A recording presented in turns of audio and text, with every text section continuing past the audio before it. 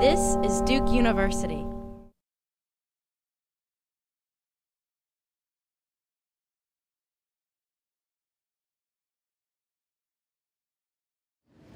So some of you may know that I'm Professor Lewin, I'm going to introduce our speaker for this session. Uh, my guess is that I'm introducing our speaker because at Fuqua we've had a project that has been studying this phenomenon that our speaker is going to talk about since the year 2004. So we've been, we're probably the um, most well-known, recognized academic center for studying the phenomenon just to put something in perspective for you, we're talking about a, an activity where companies are accomplishing their tasks and processes in relationships with partner organizations like our guest speaker today, who's come from Wipro. Just to give you an idea, between 2004 and last year, this industry represents three and a half trillion dollars in revenue according to Gartner's estimates. Our own estimates at Duke are about 1 billion. Our speaker says that their, their calculations are 2.9 2.9 trillion. Yeah. So uh, we're in the 1 trillion to 3.5 trillion range. Uh, we have a database of 800, over 800 providers, like the company that is represented here today, uh, which together employ over 3 million employees. So to give you some idea about the phenomenon that we're going to hear about today. And uh, I should say we have a long history with our, our guest company, Wipro, that sponsored one of the early conferences that we did on the subject, uh, thinking of that 2006 to 2007. It's a particular pleasure to introduce our speaker because, among other things, he is a Fuqua graduate from the cross-continent program year 2005, and he reminded me that 2005 was what the second or third year of the program, and I did not remember having him a student. He seems to remember that I taught the strategy course. So. I think that's a good thing, by the way. so, with this, what I'd like to do is just introduce our speaker, Mr. Quoc Nguyen from Wipro. Yeah, thank you. Thank you, Professor.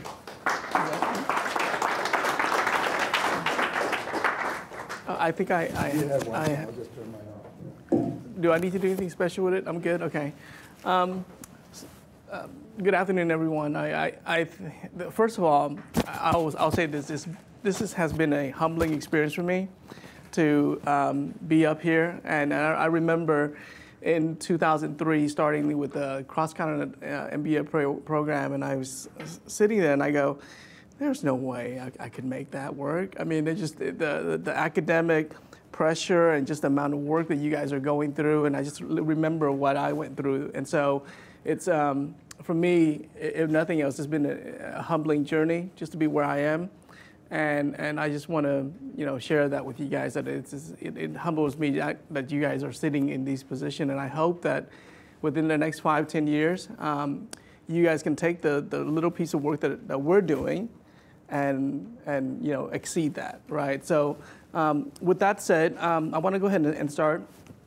How many people in this room, first of all, are familiar with the concept of shared services? Okay, so we, we, we have a, a, a, a um, a, a, good opportunity to talk about that. So basically, what I want to do, and, and I'm sorry, how do I flip the? Oh, okay. I'm sorry. Okay, cool. Thanks, Professor. He's still teaching me. So, um, so, so um, what, what I want to do for the for the balance of the, the presentation is walk you guys through and share with you guys a little bit about shared services. What is, you know, basically the level set, right? We're going to talk about, you know, um, how, when people talk about shared services, what do they mean, right? When people talk about outsourcing, what do they mean, right? Because the, the reality is that the, the terminology and the concept and the principle and everything like that is out there, but oftentimes they've been misused. And I just want to spend a little bit of time level setting what that is, right? Um, the, the, the second point I want to talk about is, you know, so now that you use, you know what shared services is, why, why is it important? What, what is the business case? Why should companies be interested in this model, right? Um, I mean, what's the value there? Is it just basically, you know, putting lipstick on a pig, right? Or, or do you do something more significant than that, right?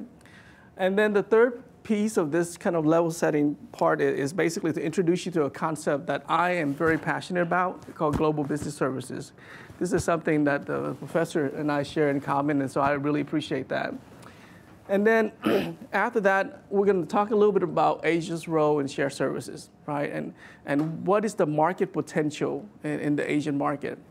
Um, and then, you know, I want to spend a few minutes talking about the implication. So you got it, you understand market size. What does this mean, right? And how do we leverage it? How do we move forward from it? And then I'll, I'll spend a little bit, a, few minutes talking a little bit more about Wipro. Um, so in, if you guys were in the uh, presentation previously with David Taylor, I think what's interesting was that uh, P, uh, Procter & Gamble started from North America and moved to Asia, right? Wipro, on the other hand, we're an Indian company, so we started in Asia. And now 80% of our customers are US based. So, so we're, we're kind of doing the, the, the opposite of that. So there's there been you know, um, painful lessons that we learned as an organization moving westward. So I uh, want to share that with you guys as well. Any questions at all? So, so the way I, I like to do this is if you guys have questions, let's have a dialogue. I don't want, you know, I don't want to, can you wait you into the last five minutes of the conversation or whatever? Let's talk through this because the more informed you guys are, are and the more engaged you are, the better it is for all of us. Okay? Share services definition. Okay. Um, basically, and, I, don't want to read through that, but basically what I want to do is to basically this. Okay. A shared services organization is basically a, a corporate function that a business or legal entity has decided to consolidate and bill. So what I mean by that is this, right? If you're a company like Procter & Gamble, you have a number of business units. Every single business units have their own finance and accounting team. They all have their own HR, they all have procurement, supply chain, et cetera, right? And, and if you think about from a global market um, competition landscape perspective, that's a very inefficient way to run the business because you're carrying overheads across all of your business units. So the concept of shared services is, is let's build an organization and take all of these, what we call typically back office functions, and put them in the, the, these organizations. And then from that, we service the business units um, as if they were individual customers. Make sense so far? Okay, so it's very easy. So for example, if, I, if I'm in accounting, I work for the shared services organization at Procter & Gamble, but I provide accounting services to every single brand that exists within the, P&G um, framework. Same thing with HR, same thing with supply chain.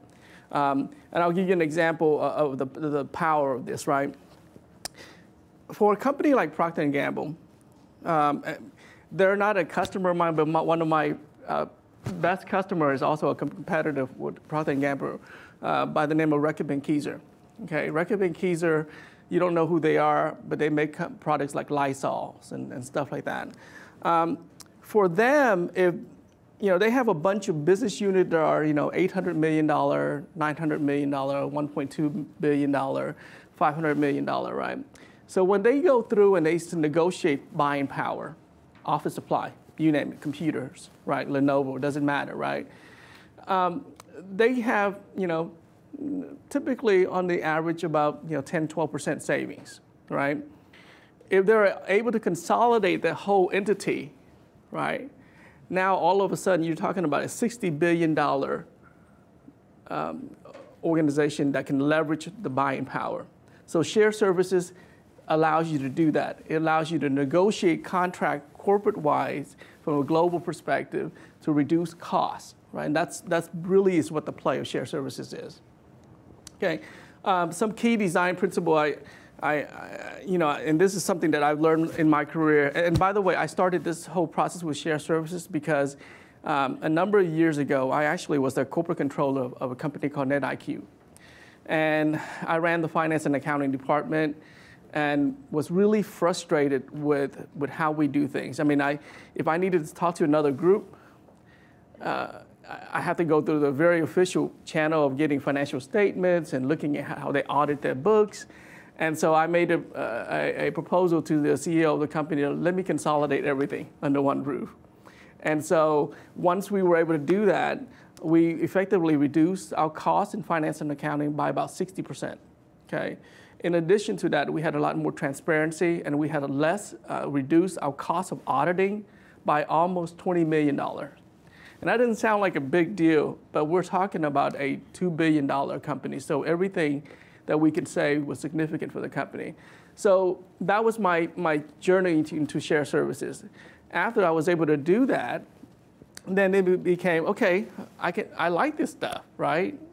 Could I do this more on a global scale, right? Could I do something much bigger than a $1 billion company?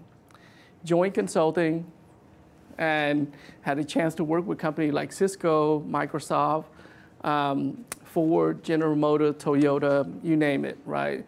And, and again, it, it allows me to, in, in my words, just fine tune and, and my craft, right? And, and that's where I learned how to become more efficient and more um, effective in this role.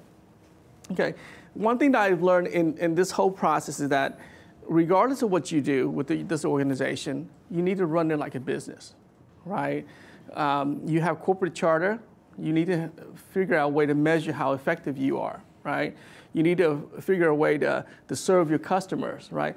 And, and I would tell you this, uh, regardless of what industry that you, you guys decide to pursue, always be customer centric. Whether you, you're taking on a role that allow you to serve internally for an organization, or whether you're working for a consumer product company like Procter & Gamble. Focus on the customer. Focus on the customer. Focus on the customer. And if you're able to do that, and you can then look at how the customer would want you to interact with them, right? And so you develop metrics, reports, charging mechanism, communication. You develop all of these tools that allow you to become more efficient to the customer. Okay? Any questions so far? Okay. Oftentimes, when I hear the concept of uh, shared services, and I hear people talk about it, they go, okay, yeah, this is, you're basically just centralizing your back office. You take every business unit together and you kind of pull their back office and then you centralize it. The, the reality is shared services is not about that, right? And, and, and the reason why shared services is not about that is because we are trying to build an infrastructure that allows the company to be, compete um, in its marketplace. So for example, when I was with NetIQ, we were a software company. Okay, we are you know, and and we competed against a bunch of companies like BMC Software, um, Attachmate, et cetera, right? Having the ability to build a shared services organization allows us to put more resources and focus as an organization to do what is important for us, which is build software, right? And then we can do, and we can be more efficient in the back end of it we can allow the executive and middle management to focus the rest of the organization forward, right? And that's the really important key about shared services. That, that's something I want you to take away from. Okay.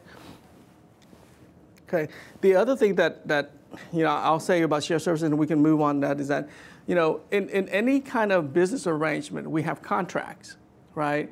So if you're buying something from me, um, there's a contract that says, here's, here are the terms and conditions that you would accept the services by, and here's how I would charge you, okay? Shared service organization, that is exactly the model that we use, right? If, if I'm gonna provide you an accounting report or an HR report, how fast and how efficient am I providing that to you? Right. Additionally, if I am to manage all your all of your strategic sourcing activities, the buying activities, what is the benefit that I'm delivering back to the organization? Okay, I'm going to charge you X number of dollars. In return, I commit to delivering, you know, X number of dollars in savings, right? And not only that, I can commit to having your supply chain um, system optimized, and so that when you need inventory, you need raw material, goods, whatever it is, you can get them in just in time instead of having me stockpiling it or you have a delay in supply chain. So shared services, again, is, is a business function. It's a lot more comprehensive than just taking all of the you know, back office function and centralizing it. Any questions so far? Okay. Okay. So, so when we when we talked about shared services initially, um, the, the, co the concept was created around IT as well as finance and accounting. And the reason is because if you look back and you look at, at um, most organizations, they spend a lot of money on IT investment. I mean, every single year when I was in corporate finance, at you know the third quarter of the year, the CIO and his staff would come up and they would give you this crazy budget about what they need from an IT investment, right? And us, uh, the, the, people in finance, we become the no people, right? you want this? No. You know, you want $200 million for this? No, right? And, but, but you realize after a while that, that you know, uh, that's not really the way to service the business. They want it because, you know, there's, there's a business reason and justification for it. And so you, you manage it, but, but at the same time, and you guys notice something, right? In 1980s, if you bought a computer, okay, uh, back then it was a, um, an Apple IIe or, or an XT or whatever it is, that, that computer will last you five, six years. Okay, the product development cycle was that long, right? Nowadays, you bought a computer, next year is outdated, right? So what happens? What, what, what happened basically is that the cost that IT organization as a whole has incurred has gone up significantly, and it, it's continually climbing. As a result of that, the shared services model was created originally to support IT organization, right? If I have an IT function across, you know, 25 business units, if I consolidate it and I create the shared services model for it, I can typically reduce that cost by about 40 to 60% from an, an uh, from an OpEx perspective. Uh, perspective. Okay, so that's kind of the, the gist of it. But what had happens to from that point to where it is now is that literally every corporate function that we've seen has some flavor of it in shared services, right? So you started with IT, you went to finance and accounting, you went to supply chain, you went to HR, right? And now you do marketing, right? You have analytics, right? And then you do product development. I, I, I sh- shared with the professor this morning that one of the things that we do at Wipro, um, and you guys don't, um, how many of you guys own one or, or have um, some, or own a BMW or, or know somebody who has one? Right? Well, the reality is the instrument cluster in the BMW was actually designed and engineered by Wipro, right? Um, now, if you don't like the color, that's I can't pick it. But the reality is that we have evolved the shared services model from just doing transactional work in the past 20 years to now where we're doing a lot of things like design uh, and engineering services, right? Um, Microsoft, everybody uses Microsoft, right? 20% of the codes in Microsoft were developed by Wipro from a shared services perspective. Texas Instrument. Um, Texas Instrument uh, completely leveraged Wipro for all uh, R&D function. As a matter of fact, we as an organization ha have invested in over two, uh, 2,500 PhD, full-time PhD. And That's all their job is just do research and development. So my point here is that, you know, as an organization, as a market, share services started out very simple IT, moved to finance. Now we're moving to very strategic categories like product development, product design, customer segmentation. So the opportunity is huge. Professor and I were uh, kind of debating this morning. I mean, the reality is, you know, is the market one trillion or three trillion? You know, um, my, my point, it doesn't really matter. I'm just saying that's a significant market, right? And what that market lacks as a whole is talent. People that would actually go in there and figure out how to build a better mousetrap. And, and that's kind of why I'm there, right? And, and why, you know, there's an opportunity for you guys to look at that as a, a, a way to, you know, develop your, invest your career. That's an awesome um, area to invest in. right? Okay. Um, trends in share services, I think I shared this a little bit with you guys already, right? The biggest trend is just the scope, we just expanded, right? We, we, we're no longer just talking about the back office function, we're talking about middle offices, right? Middle office for us is, is things like analytics, right? Um, and when I started my uh, career a number of years ago, I was uh, I started it in, in CRM, all right, and, and my biggest customer at that time was a company, a little company by the name of Best Buy. And, and, and at that time, it was actually a little company, and they were actually struggling. And so when we went through and we look at analytics, um, one of the things that we came up with with Best Buy, um, and we still use it to this day, is that if, I don't know if you guys seen a Best Buy advertisement lately, right? Um, but at that time, when, when Best Buy put on an advertisement, we actually didn't want you to buy anything in that advertisement it sounds weird, right? I mean, we, we, how do you put out, you spend millions of dollars on a weekly basis and you don't want a customer to buy anything in the, in the advertisement. The reality was that we wanted people to look at the advertisement, show up at the store, and buy the product to the left or to the right of that product. Okay? And the reason is because those products to the left or the right, they may cost five or ten dollars more. The margin for the company is about 40, 50% more right? Again, analytics. And so what I'm saying is right now, shared services, we're incorporating that into how we deliver services to the organization as well. Tell me about who my customers are, right? Um, when, when, you know, the other thing that we're doing right now is we're doing something called predictive analytics, right? So if I can look at a particular zip code and I can look at it and go, you know what, if I was to open up a diaper store, and this is a number of years ago when Babies R Us was actually popular, um, what is the lifetime value of a customer that lives in this particular zip code? You know, when, when before uh, this customer has, you know, have all of their kids grown up, how much money would they have spent buying diapers? Okay. And then what would I do as an organization to maximize my wallet share? meaning that if, if they're going to spend $100,000 during that lifetime on diapers, I want $95,000 of it.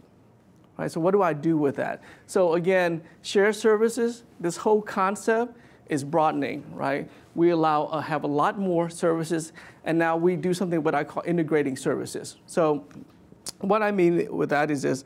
So in the in the past, when we talked about finance, and accounting, and IT, and supply chain, we typically talked to, uh, about them in the concept of, of you know, silo organization, right? You do something in finance, you do something in HR, you do something in IT, right? Nowadays, the approach that we take to our customers is order to cash, right? When an, a customer places an order, to you actually uh, collecting and applying the cash in your financial system, what are all of the activities that take place, right? And how do you manage that from a shared services perspective? Procure to pay. When you decide that you want to, to buy something, whether it's raw material or, or goods for your offices or whatever it is, right? Think about it from the, the concept of strategy, PO, creating a PO, PO for requisition, buying the product or services, paying for it, receiving it, and then accounting for it right? So now we're looking at value chain. So that's, that's where shared services as a whole is moving towards as well.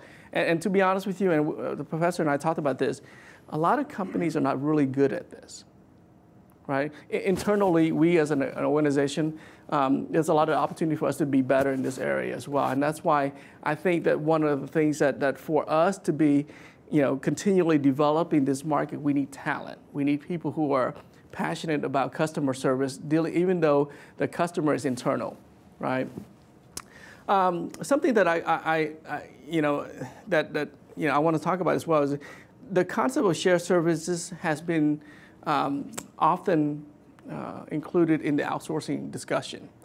And while that is true for a majority uh, of, of, the trends in the past, what I'm seeing nowadays is that uh, there are companies that, that realize that, you know what, we offshore, we outsource a lot of our function. We realize that, that our customer wanted be something better, and then so we shift, we're onshoring it back again, right? I, will give you an example. I'm an American Express holder, okay? I have um, three American Express card. I have a corporate card, right? I use that for traveling for business, right? And then I have a regular Amex card, okay? And then I have my platinum Amex card, okay? When I call my regular Amex customer service, I get somebody in India. Half the time I have no idea what they say, right? We're struggling with language. They speak English, I speak English. I, I have no idea what happens, right? But we just have a hard time communicating, right? I call my platinum card customer service. It's done in Indiana, right? So I think, you know, what, what my point to you guys is that, you know, shared service is more than just outsourcing. Shared service is figuring ways to leverage mass capability to drive your business from a competitive perspective. Okay, so think of it more than just that. Okay. When you speak about stuff like that and, and, and stuff when you spoke about earlier, such as like uh, more on the, I guess, creative, like the opposite of sort of the offshore processing type model, how does that change your interactions with your with your customers? I, mean, I, I would imagine it's a very different relationship when you're designing a console or doing R&D for them versus processing payments or just doing, you know, a call center is what some people think about in terms of things like that. I'm not sure I understand the, the question. Are you saying that, are you asking the question of how do I interact with my customer? Well, how does that interaction change? I was thinking specifically in terms of how you sort of get get paid or, or things like oh, that okay. when you talk when you talk when you have just such very different things you're processing on behalf of your uh, your customers. Right, right, right. So remember, when, when you are a shared services organization, your customers are typically internal, right? M meaning that you are providing not, uh, you if, I'm, if I'm a shared services organization for GE, my customers are, are other GE business units. They're not external. They're not like the GE end user, right? So, so in, in I mean, does that make sense? Well, I guess if you're contracted with BMW to design okay uh, uh, like Wipro is contracted to BMW to design a panel, but you're also contracted to some other company to do other things, I would assume as well. Right. Saying. That seems like it's very, very different. Right. Yeah. I mean, for us, you set up team, right? I mean, uh, you know, we have the our BMW account. We have our um, Xerox account that for them, all we do is finance and accounting invoice processing, right? And we have another team that does just nothing but marketing um, share services capability. So, so you do have a segmentation in your own internal organization and how you service the customer. Does that, does that answer that? And so, and so what I'm saying is that and, and, and how you interact with your customer is completely dependent on what the relationship is, right? So for example, if, if, if the customer wants me to drive down the cost to produce, uh, to, to process an invoice, right? And right now, they're costing them 25 cents uh, per to produce an invoice. They may come to me and say, hey, well, you need to bring this down to eight cents an invoice, right? We don't care about anything else. We just reduce the cost right now, right? Then my relationship and how I design the structure and the account relationship is very different with that customer versus a customer like BMW that said, you know what? In addition, we don't want you to do that part we have a product that's going to go into our 7 series, okay? And what we want you to do is tell us what is the best way and the most affordable way to build that product and engineer that product, okay? So I don't want you to cut costs necessarily if you compromise everything else because again it's a premium brand. They don't. I mean the cost we're paying for the cost right. If you drive one, so their focus is a little bit different, and so how we structure ourselves as an organization to serve a company like BMW is completely different than how we structure ourselves to service a company that where we're just drive invoices? Can we get out the fastest possible? I mean, does, does that make sense? I mean, so you, you, it's like what you guys do here. You create work team, work groups, and then you service that. Any other question? Go ahead. I'm sorry. Um, so you mentioned about the different kind of offshore processing with the India versus Indiana.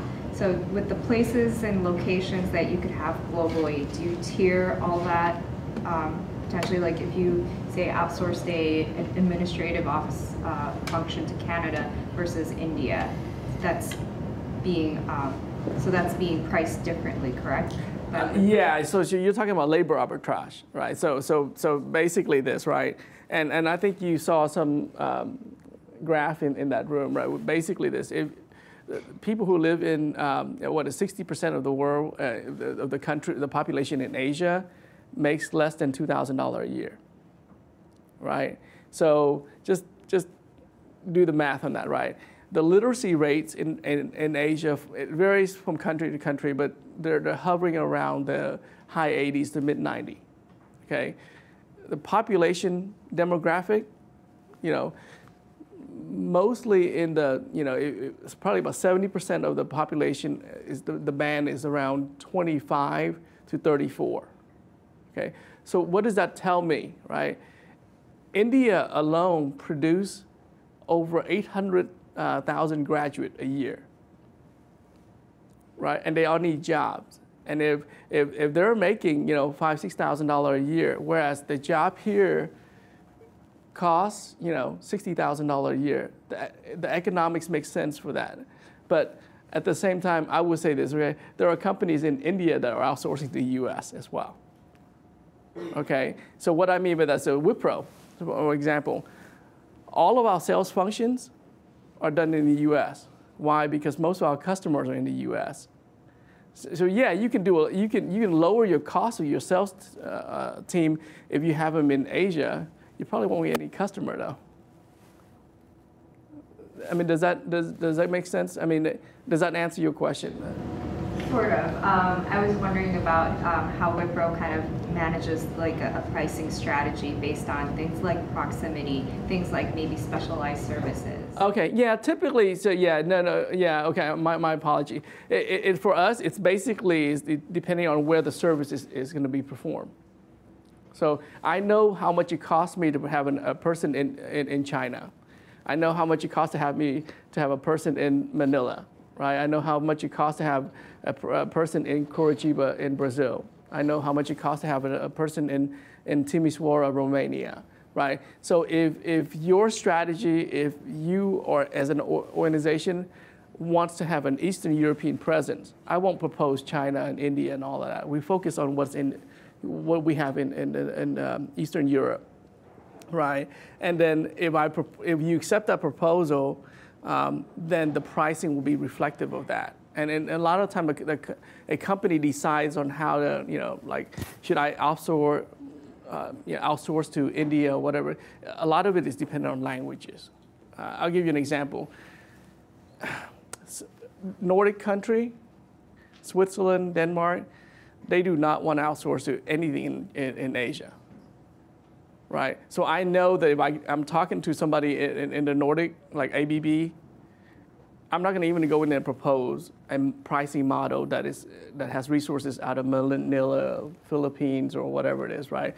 I'm going to focus on, you know, Budapest, you know, Bucharest, you know, Krakow, the, the Eastern European country, and then as a result, my pricing will be reflective of that. Does that I'm gonna have to answer that one right because because uh, uh, I feel like you're not satisfied yet. But I let me let me cover on that, and maybe we can talk about that. Yeah. Also, since you said that the breadth of the services that you guys offer ranges from uh, the sort of more payroll services to more strategic ones, so where where is the difference? Where's the line between outsourcing shared services and so, something like consulting? Okay. So let, let me maybe begin. A shared services can be a captive or an outsource. A captive is when I build a shared service for my own organization, right? And typically what happens is, is that a company that is trying to get into shared services, they initially don't want to outsource something, right? And, and, and a lot of times, to be honest, that's, there's a lot of politics involved, right? Because people lose their jobs, so they want to go, okay, well, we, we start the process by just building something internally, okay? And then, it, and for some companies, that's fine. They can build a captive share of services, and we've done it in you know places like Ohio and Tennessee, and that's fine, and, and that works for them. Other companies, if they are not more aggressive on their cost driver, they just run out of business, right? So, so that's when the, the outsourcing conversation actually comes in, right? Because I can build share services for you in um, in the U.S. and but I can probably have the, the efficiency and everything through a probably reduce your OpEx by about 20, 30%. If, I, if you let me do the same project and let me leverage outsource capability, I can reduce your operating expenses by about 65%. So for a lot of companies, an issue of survival. So it sounds to me like Wipro is both a product as well as a service company. I'm just, because, for example, selling the IT tool that will help an internal shared services mm-hmm. activity or so. I'm just wondering, in your experience, is that an important combination to have for your consulting business? Right. For, for us, you have to have it, right? Well, what I mean by that is that I can go to the, the market and say, well, we provide services. The first thing a customer will ask is, okay, got it. What kind of tools do you guys use to actually drive more savings? And, and if I don't have a, that product angle, I typically lose out on, on, on the conversation. So for us, is, is the two are, are, yeah, yeah.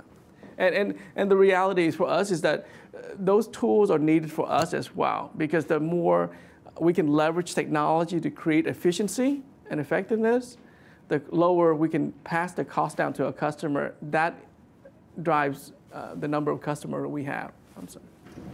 In this con- concept has, um, has been used in ADP, something like ADP. And what's your advantage compared with your competitive? competitive? Co- co- uh, with a company like ADP, well, for, for us, we, uh, you know, th- we're, we're, competitor, we're competitor with them, right? So the one thing that we don't do that ADP does is they do a lot of the, the tax filing, right? So a company in the U.S. that wants to keep their local operation in the U.S., they're fine, but ADP doesn't really exist that from a footprint perspective in, say, Eastern Europe or, or South America and stuff like that. And so companies that are looking for more of a global presence typically engage a company like Wipro. Oh, and by the way, I'm not trying to advertise Wipro, okay? Uh, there are a number of companies in this space IBM, Accenture, Infosys, TCS.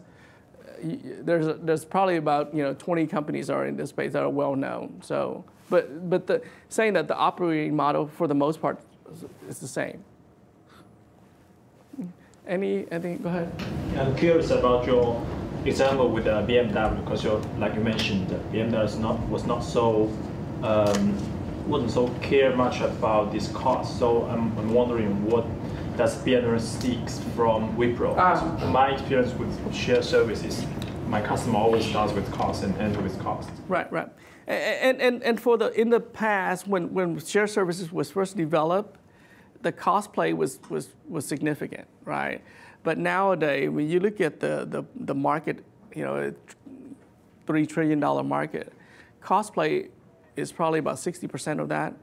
The value play is probably the rest, right? The value in the, what I call compliance is, is makes up the other 40, right? So for example, with, with BMW, if you think about it, right, what is their mission? What, what do they want to do as an organization? Do they want to, do they want, want to be known as the company that makes the best in, uh, instrument cluster?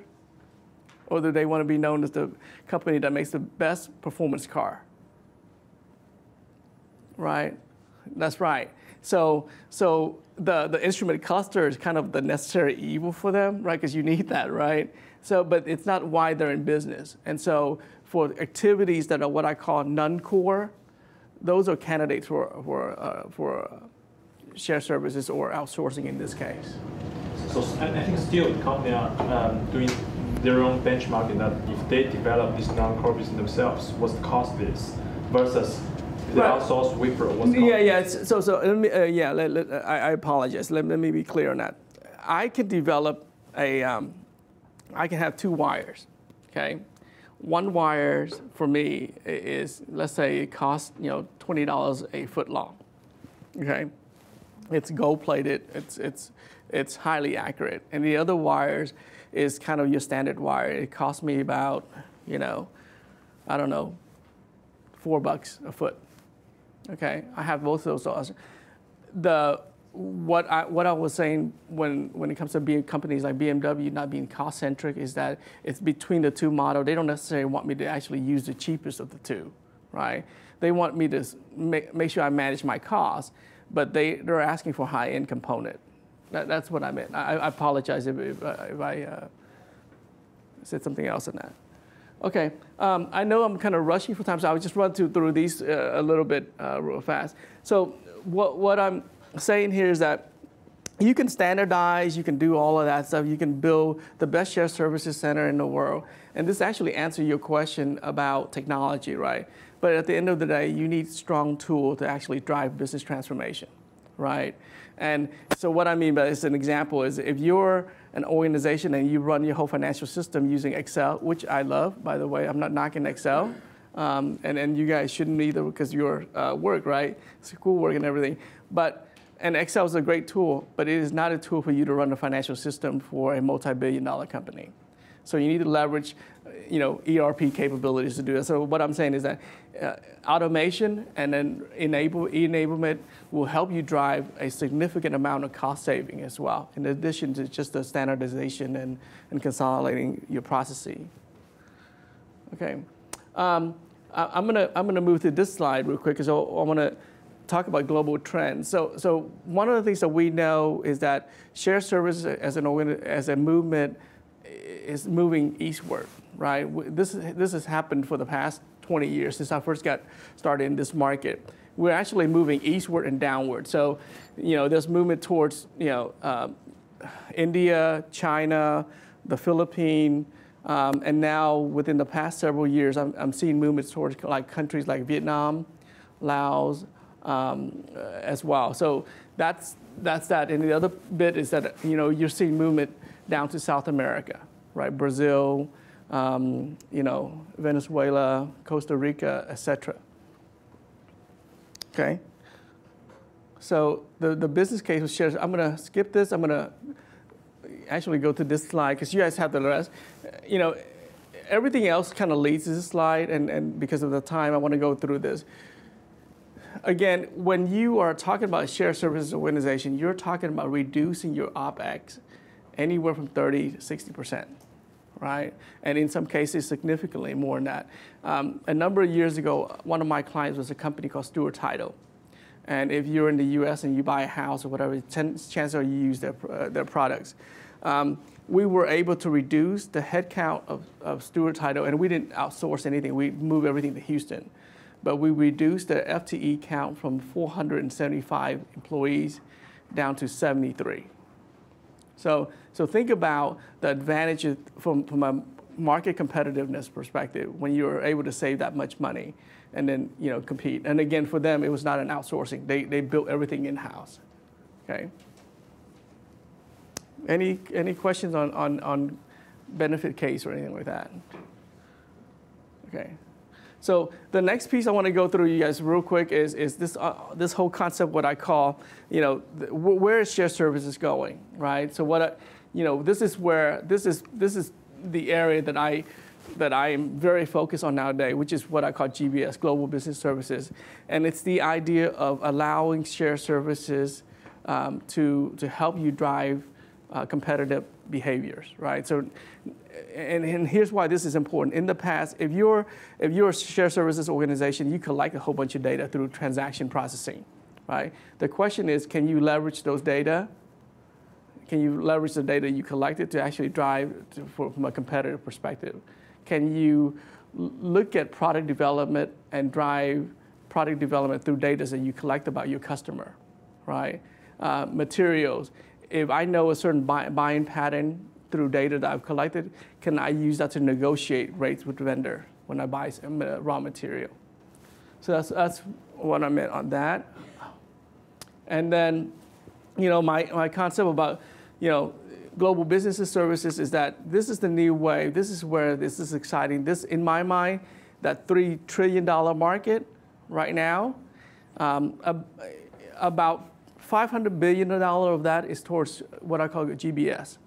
And, and, and the reason is because most people are, are, most organizations are still unsure about what the GBS market looks like and how, how does that work, right? So one of the things that I have, I have the opportunity to do in my job is I travel and talk to executive about how do, how do we, how do we take shared services, which can be boring at time, and then flip it around and make it you know, a tool that you as an organization can leverage to drive competitiveness, right? whether it's market development, um, uh, product development, um, customer acquisition, customer retention, right? Any, any questions so far that, uh, that we have on the, I don't know what the flicker is, but any questions so far at all? Okay. Okay, and here I just want to share with you just a, a few example companies that are moving towards the, the global business services model. Uh, Unilever and BP um, and, and, um, Best Buy are, are, are big clients of mine, and those are uh, accounts that I work on.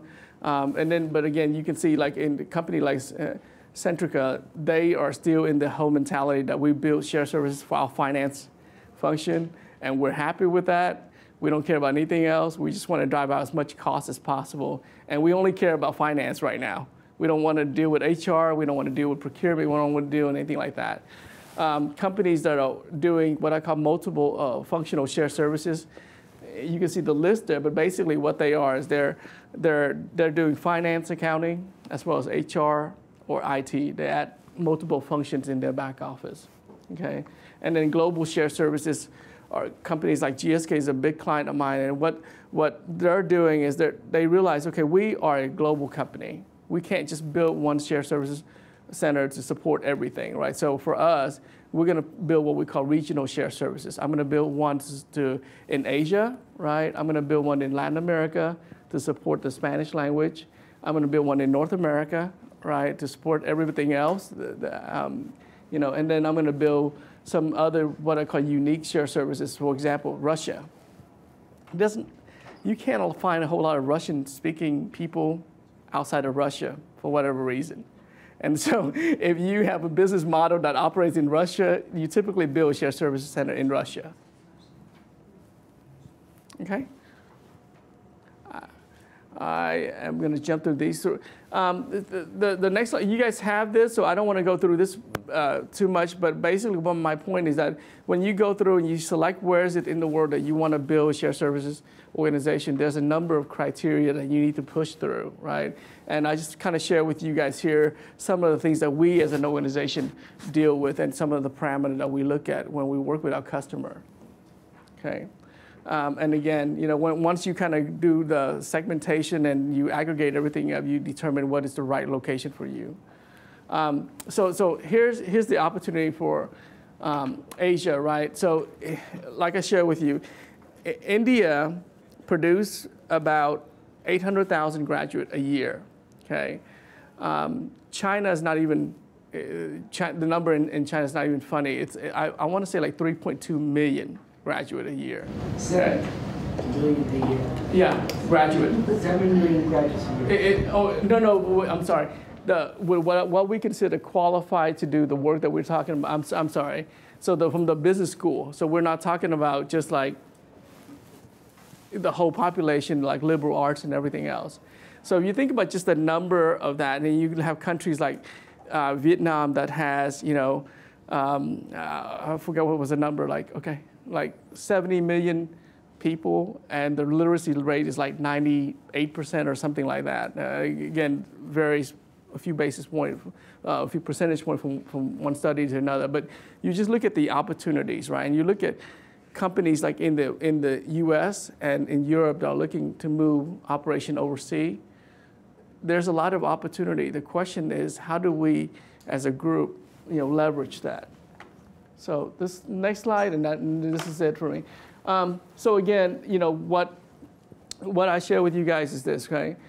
Um, the the next five or ten years, share services, global business services will drive a significant impact in Asia. The question then becomes, what is what do we do about it, right? Do we do we help drive the business or do we sit back and, and let the business just happen? So the, the challenge that I have as a practitioner in this space is that we lack a lot of talent. Uh, MBAs who are looking to kind of move into this area because most people want to do stuff like investment banking, um, you know, the merger and acquisition stuff. What I'm saying to you guys, if there's an opportunity to look at this from a career perspective, you know, this might be something that you'll be interested in. Any other questions on that? Okay. okay.